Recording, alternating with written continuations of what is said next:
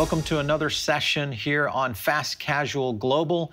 Uh, we are going to dive into, I think, what um, many of you really kind of have talked to us over and over about is kind of this evolution of where fast casual is moving. And, you know, there was an era when we had kind of this thing called fast casual 2.0. It was kind of the jump between when Panera was really moving, and this has, uh, you know, been in the late uh, part of the 2010s. Uh, and uh, it, it kind of evolved a little bit in terms of the kinds of fast casuals that were starting to populate the land. Now, of course, we've got a forced measurement at our hand uh, that is kind of pushing restaurant brands and fast casual concepts into a complete new uh, zone. Uh, so today with me, I've got two experts, Mr. Shaun Shankel, who is with Fresh Technology, and Dan Simpson of Taziki's Cafe. Great to have both of you on the on the episode today. It's great to be here. Thanks, Paul. Yeah, great to be here. Looking forward Dan, to the combo. Yeah, Dan, I haven't had a chance to meet you in person, so it's great to meet you virtually. Uh, love Taziki's and, and everything you guys are doing there. Uh, Shaun, let's start up with you quickly. A little about Fresh Technology, obviously part of the Fresh Hospitality Group there with Matt Bodner and the team in Nashville. Talk to me about what you guys do and how you're connected to, to Taziki's. Yeah, so um, Fresh Technology is a um, it's a, a tech company built to um, drive some core uh, technology to um, increase digital, um, uh, you know, sort of the e-com business of a restaurant, and then help manage the kitchen and the uh, the, the back office. Um, um, the systems in, in, restaurants as well. So uh, Dan and I work really closely together. So we um, we get to uh, experiment a lot on new technology with uh, with Taziki's and so we they they get the benefit of um, early tech before we before we release it out, and so you know all of the ups and downs that that brings. Um, and at the same time, we we collaborate quite a bit on you know sort of our true um, you know the true desire is what are the problems that we can solve and what are the problems that we can use technology and innovate um, with technology to solve in the restaurant. And so it's an exciting time. I mean, it's a it's a hard time, obviously, coming you know, as we've moved through COVID. Um, but from a technology perspective, um, it's like there have just been so many, um, so many opportunities, um, so many uh, that that tech can step in and really help um, evolve the um, not only the efficiency but the the revenue of of restaurants. So that's kind of what yeah, we do. For sure. And uh, I like it. Yeah. And I like the fact that, you know, with you guys being operators as well as technologists, um, you, you get a chance to really kind of build the measurements of what works, what doesn't work, and then apply it into some of the development of, you know, your, your technology stuff. So that's great that you guys are going in that direction. Dan, uh, give me a sit rep on Taziki's right now. Where do you guys stand in terms of unit count, you know, size, scope? What's a, what's a unit look like there? Yeah, we are um, just about 100 units. We ended up uh, having two casualties during um, the first part of the pandemic last year. And um, but our typical unit is about 3,000 square feet. Before COVID, we were already moving towards a 2,000 square foot more off-premise optimized model. Yep. And um, as we turn the corner into 2021 now, uh, we continue to look to provide more flexible uh, prototypes uh, that are that are more empowered by digital. So this conversation is very timely. Yeah, very cool. Interesting that you said that you you had already started the process of going to the smaller footprints. Uh, when you look at the landscape today of where fast casual is, because that's exactly the topic is what is shifting in the design of the prototypes and the new development of fast casual. What's the one thing that you think, Dan, is most important on your checklist of these are the things we got to do in 2021? Whether it's an operational standard, a tech standard, you know, something around real estate, what would be on your number one uh, list today? I think right now is, I mean, it's very hard to have one thing. We actually establish five OKRs every year, five company objectives, and yep. they all work very much in concert with each other. But I mean, it is it is a, a balancing act of staying, listening carefully to what guests are wanting, and what that means is uh, becoming awesome at all of the omni channels. Uh, we were already moving someone into that, and the technology that Shaun and his company provides for us um, was allowed allowed us to be in a good position when the pandemic hit. Um, and so I, I, would say, if anything, is we we were successful in opening all the channels. This year, we have to be get to a place where we're awesome at yeah. all of the channels, and that involves lots of that's technology, but it's retraining, it's reevaluating our footprints um, and the flow within our physical restaurants.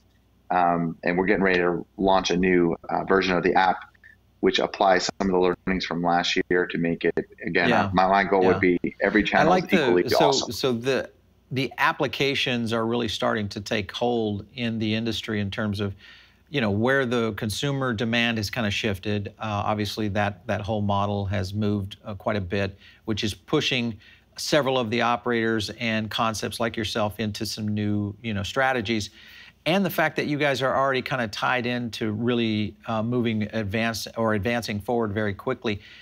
That connection, Shaun, over to what you guys are doing at Fresh Tech Technology, um, how does that play into? Because you're you're I'm assuming you're trying to rethink how technology is going to be used in these new formats, potentially different size of menus, maybe even user experiences, Absolutely. because you have to deal with off premise. Uh, yep. What what's the thing that you guys are watching for mostly right now? Well, I think from a tech uh, from a technology uh, perspective, there we see quite a bit of um, evolution in in what the user experience requirements are that we need to provide. So, um, you know, omni-channel off-premise those are these these sort of have all collapsed into the digital world. Um, you know, I think you know Dan's company has been focused, I would say, off premise, especially from a catering perspective, for years, and um, and so and then several years ago we started focusing on what does it mean to expand digital for all of the economic reasons and the user experience reasons and the trends that we've seen that were sort of slowly being adopted by users you know, we've seen those speed up. It's, it, you know, a lot of us in the industry have talked considerably about how the pandemic has, you know, um, thrown our business, our industry forward by years when it comes to a technology's right. perspective. So what we're looking for, what we're focused on is now, um, how do we provide a better um, user experience with the technology? And that doesn't just mean, although it does mean this is the idea of being awesome in every area it definitely means in-app and on web, but it also means um, you know backstream into operations. Right. Um, I like to say that, or you know, uh, we we we talk about this idea that in the late '90s and early 2000s, you had retailers putting up websites where they they were um, just selling the same products they had in their big box stores. Mm-hmm. But then you had Amazon who came along and said, we need to reimagine the entire supply chain yeah. from the warehouse to the consumer. Sure. We are in a period where we have to really reimagine the entire supply chain because the physical um, plant of the restaurant dining room right. go- is is shrinking is going away and in response all of these channels are opening up so from a technologies perspective we have to think well how do we balance that how right. do we manage the flow how do we manage these experiences because you've got consumers that aren't just waiting in a dining room they are now equally, you know, equally waiting at home or in their cars.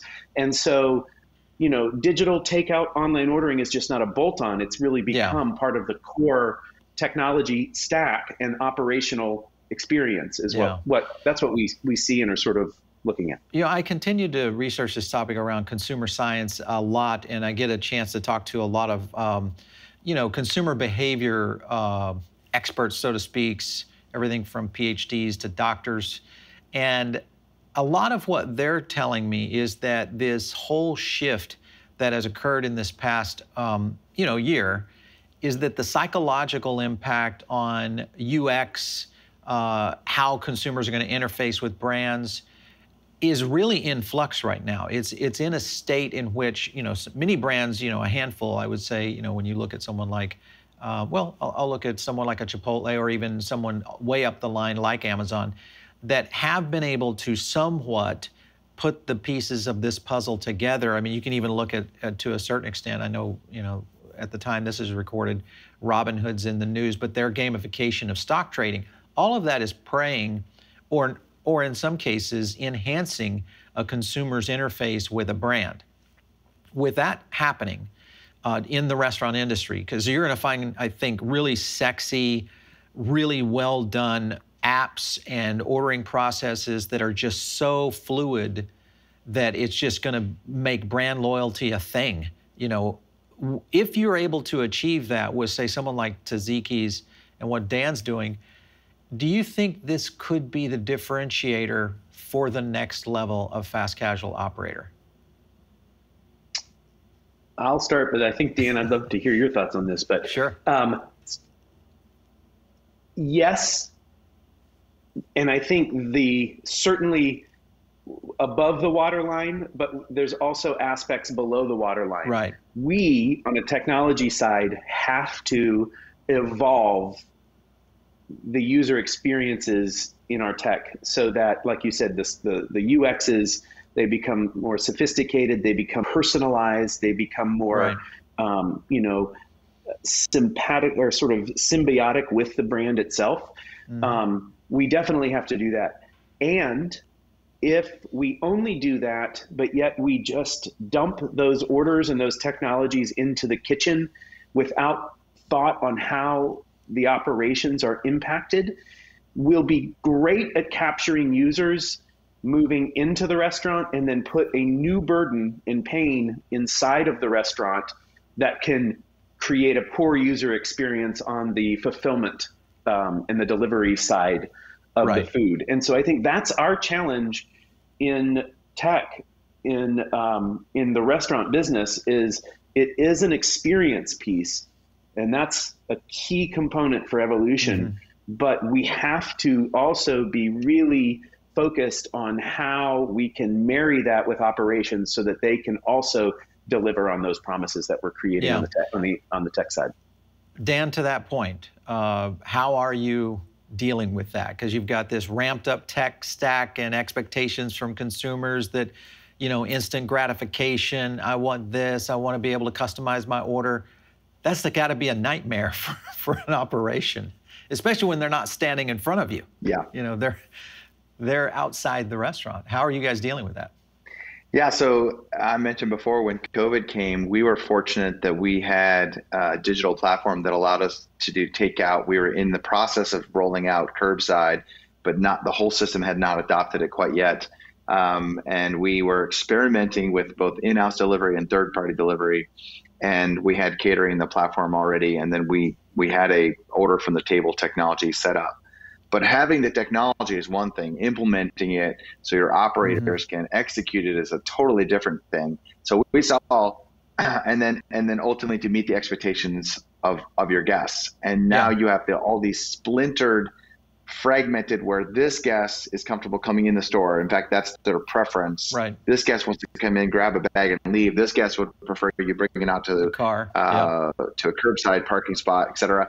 And um, and so you're you're now now we're meeting guest expectations, but our our we probably got about a 30 day window where there was a grace period, and we said we were so grateful for any restaurant that was open and anyone trying to make an effort to serve mm-hmm. them.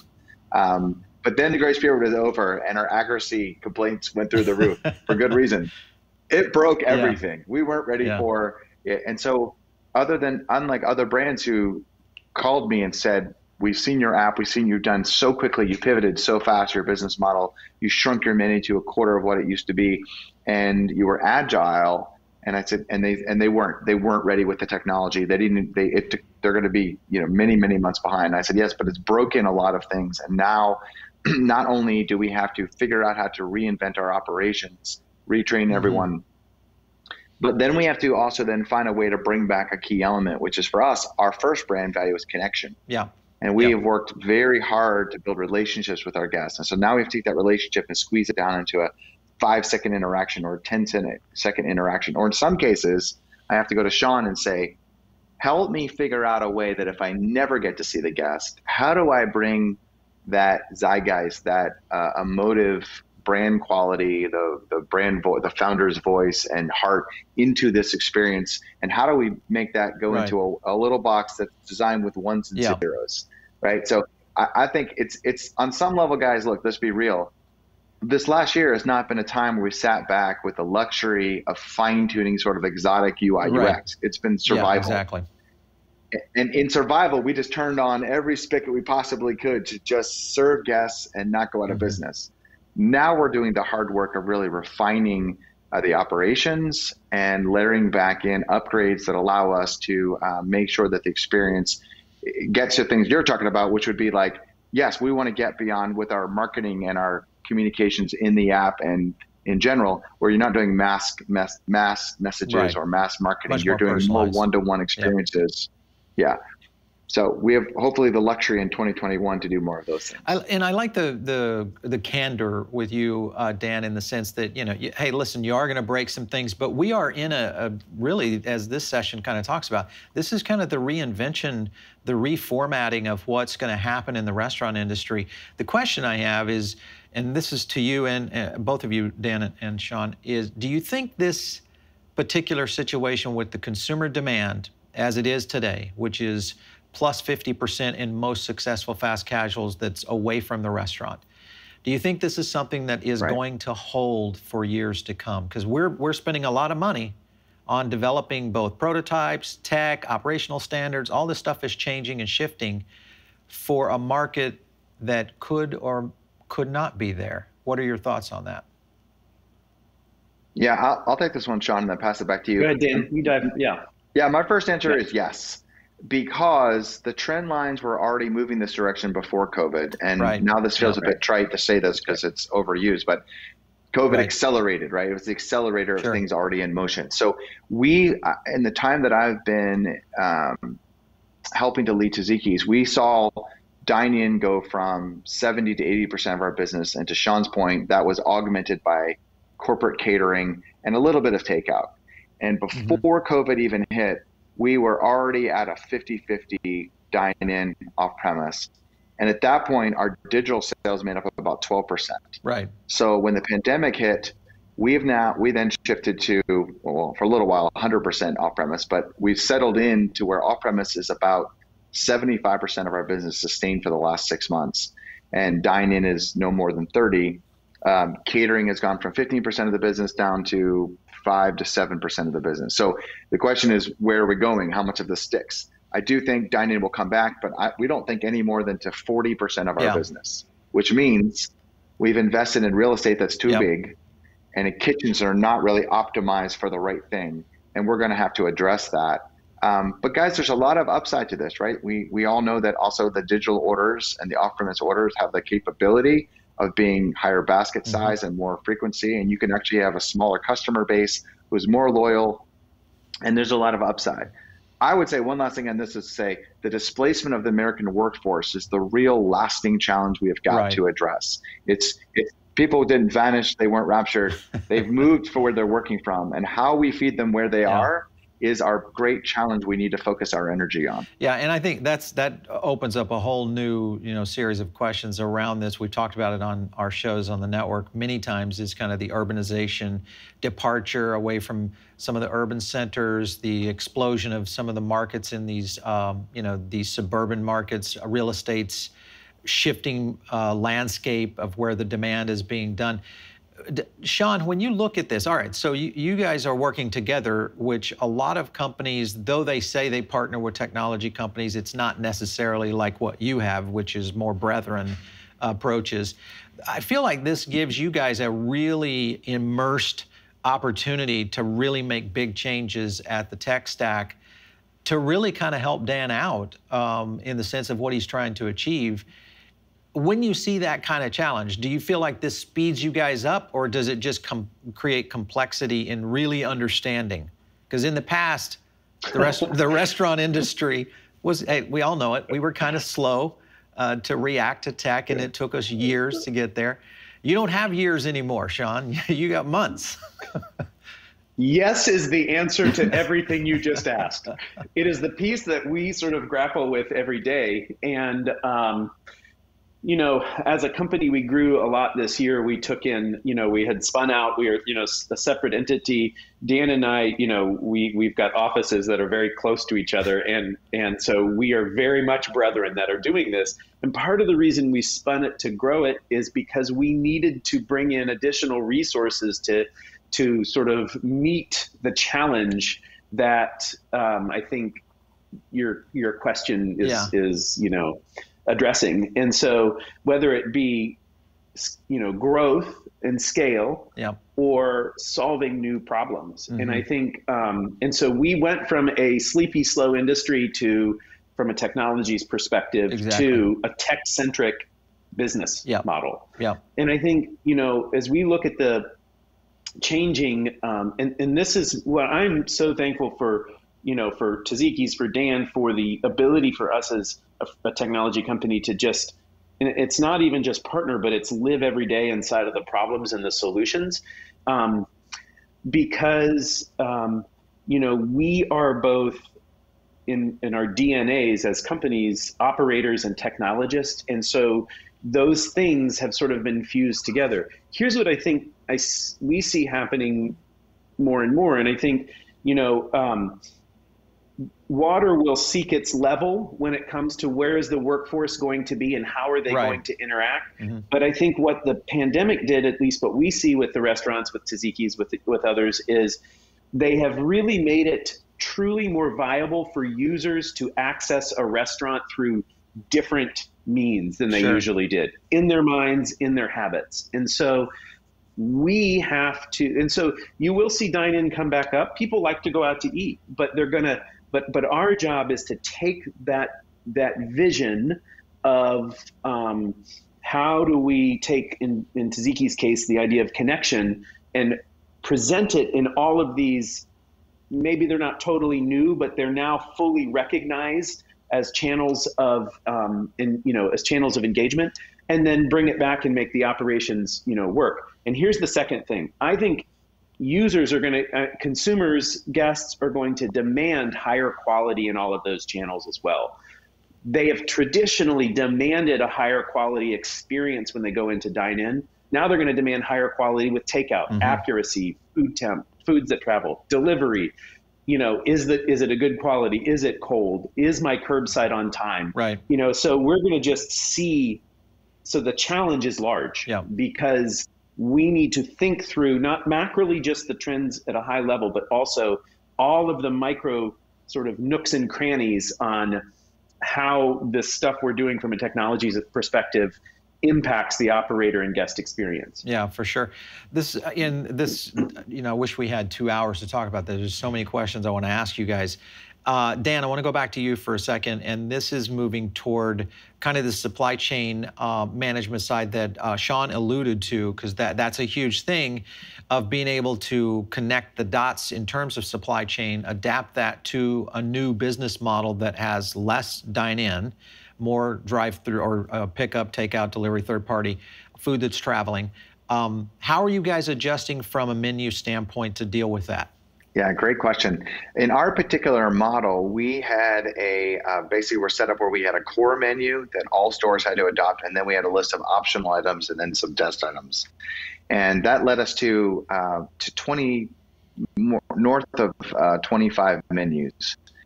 Uh, too many menus to manage. So one of the things we we learned through all this is when COVID hit, we went down to a very small express menu, and we've actually been in conversation with our FAC and our, our franchise partners in the last couple of weeks about moving to two or possibly mm-hmm. three uh, uniform menus um, so we can better leverage purchase agreements. We can make use of limited uh, distribution center uh, challenges and costs there, and then ultimately optimize um, our ideal labor model yeah. to go along with these menus. And so the simplification of things has become important because the challenge is even for those that have been fortunate as we have to come back in sales to where we're 85 to 95 percent of the way back um, to, to 2019 level sales right. those sales have come at a higher cost. And so now we have to have a profitability exercise of looking through our p&l top to bottom how to be more efficient. This is one of the ways to do it. And so i think on the other side of this guys there's so many gifts that are coming through any crisis. And this particular one we will end up with a more streamlined menu, a better labor model. Uh, we will have a 3,000 uh, square foot model, a 2,000 square foot model, and we have a prototype for a 1,000 square foot model. So a one, two, three uh, on our on our build out cost and our prototypes to go along with these new flexible menus, and we will end up being really mm-hmm. a more profitable business that's more attractive to scale. And so, candidly, these right, are all things right. we knew we need to address, but they might have taken us five years. Yep. Instead, they took us five months.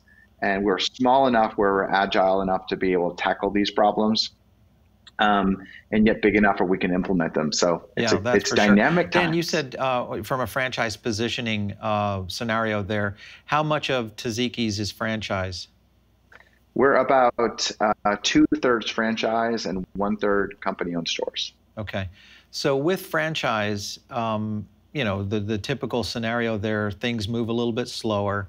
Um, have you seen a marked improvement from the franchise community? Obviously, it's it's survival of the fittest, but have you seen improvement of of people's you know their mindset, their group think to move quickly uh, to these decisions that have to be made faster now than what most franchise communities used to make decisions? Are you seeing any kind of movement there? Yeah, it's a great, insightful question. I would say in March and April, when the pandemic first hit, um, I was incredibly proud of both our executive team and the corporate staff and all of our franchise partners. Everyone uh, went from probably denial to re- realizing that this is upon us and we have to act fast. And so we did, and um, and so that was great. Now I'll say, as time has moved along, um, some of that resolve has softened, and I say where we sit today is there's a mix of this cautious optimism right.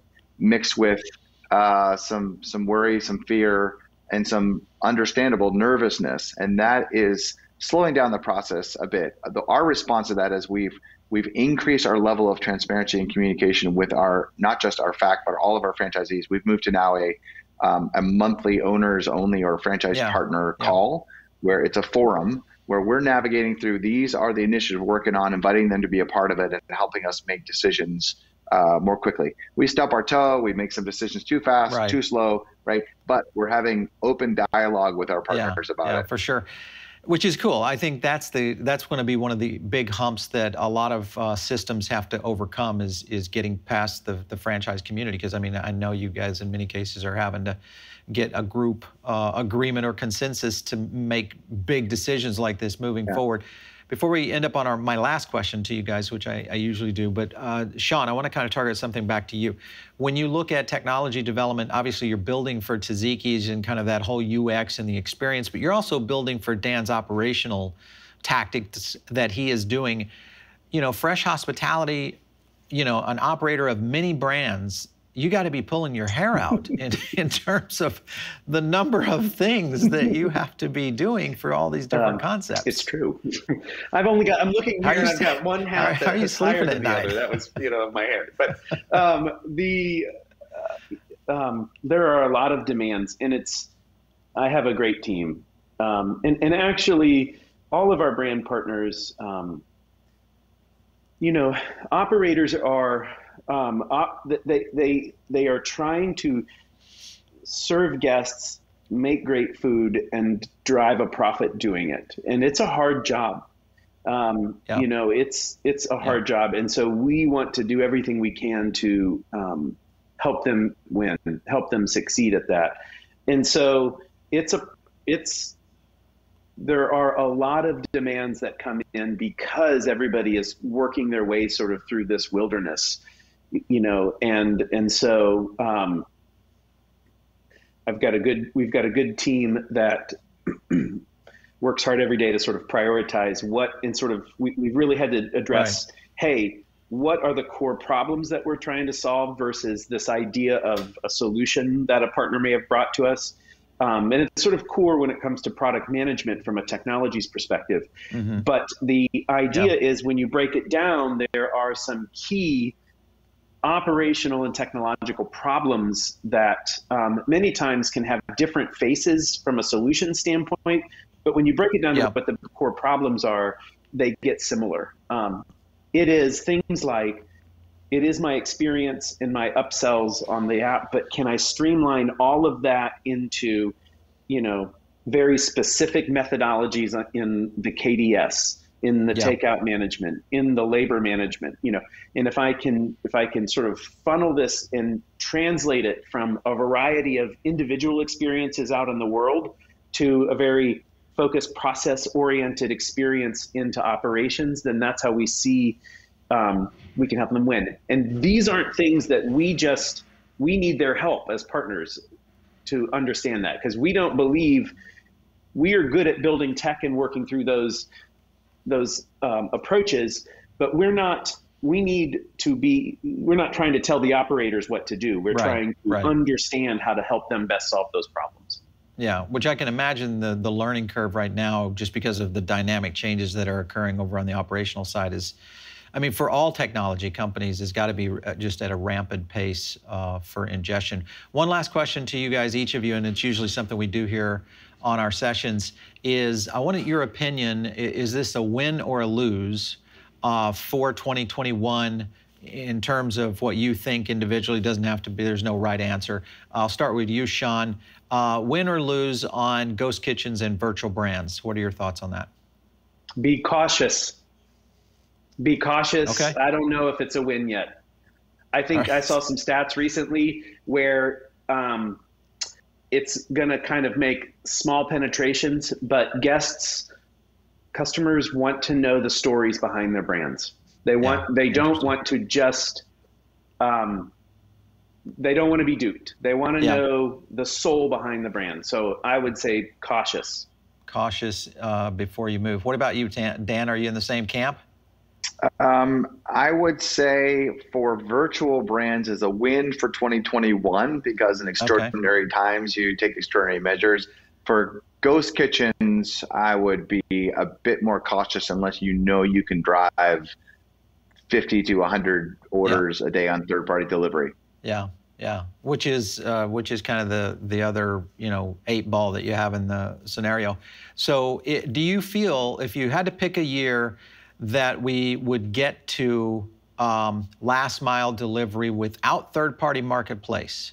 This means that e commerce has got to be in place, apps have to be in place, and then logistics, of course, have to be in place for delivery. What year would you say that's going to be, Dan and Shaun? I know it's not 2021. I haven't seen anybody right. even close. Yeah. Uh, let's, right. let's say 2023. Let's give them. Okay, let's give I like a couple that. more years. A Couple years. How about you, Shaun? You, you kind of know what's under the hood. I was going to say 2023. 2023. I think wow. there's going to okay. be the tech is going to be there. It's um, the um, the P and L aspect right, of right. it. Um, that's really where yeah, it's going to live. Be in, and delivery companies are going to um, they're not going to go down easy. they're going to be uh, we're going to be fighting for it every yeah, step of the way. On, right so. on. Well, the good thing is, is I think operators kind of know the game now, and everybody's figured out, and they definitely understand where where the situation lies. So uh, it's been great. Hey, listen, it's great having both of you on the session today, Shaun and Dan. Thanks for uh, letting us pick your brains. We really appreciate it. Thanks, Paul. Happy New Year. Thanks, Paul. It's great seeing you again. And uh, absolutely. So stay tuned for our next session right here on Fast Casual Global.